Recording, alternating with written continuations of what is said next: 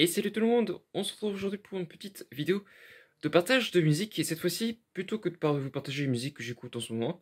je me suis dit que j'allais vous partager mon top 5 des musiques OST de jeux vidéo, euh, des musiques que j'écoute de temps en temps mais que j'écoute euh, assez régulièrement, notamment une avec euh, notamment la sortie du jeu Horizon qui a,